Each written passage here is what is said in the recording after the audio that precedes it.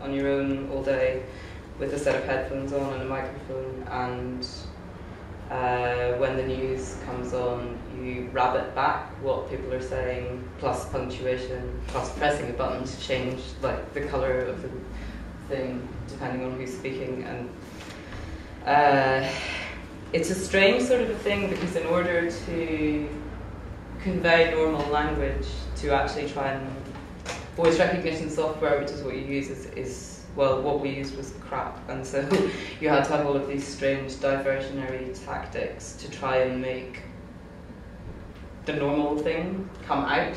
Um, uh, two of the things that they used were there was one thing called house styles, where you would, if the thing responded badly to your accent, you would say like um, skull equals school because you know, if your pronunciation was such a way. It only really responded to Thames estuary accents. So, uh, so if you're or English accents in general, if you're English, you're generally okay. You're, you know, it'll more or less catch what you're saying. But if you're Australian, they have a, an office in Australia. So if you're Australian or Irish or Welsh or Scottish, you're fucked. uh, and you have to find lots of ways to to try and make it get the thing right. And the other thing the other way of doing that was a thing called macros, and so you would, um, somebody had a strange name that didn't sound like it would come out, you would use something like man macro or man mac, and you would program the thing to and put the person's name in so that when you said this, that would come out, and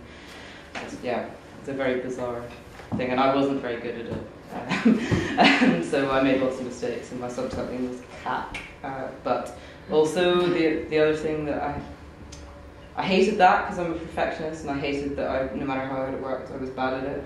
But I also hated having other people's words put in my mouth. I hated just having to repeat back what somebody else was saying.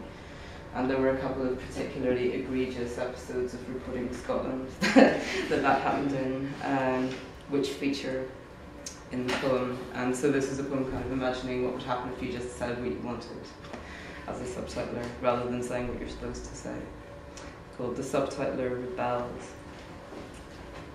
What should now be on display?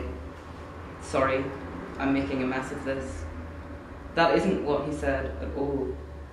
For Fife, read Do for Mac. For which read Itchley Bridge. For skill and skull and scale, read school. No, the writer of comics is not Kafka. The author of The Gruffalo is not to be recognised as Scotland's greatest living poet.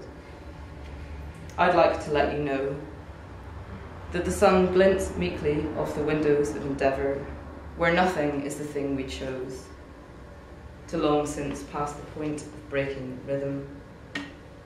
A rose is not a rose, if by other name it chanced to become distinguished. I am forced handover conduit closed.